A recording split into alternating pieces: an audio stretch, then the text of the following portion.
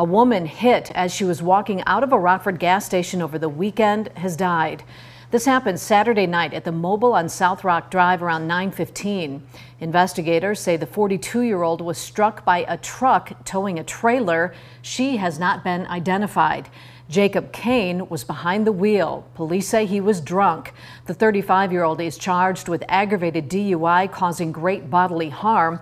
Investigators say more charges could be on the way.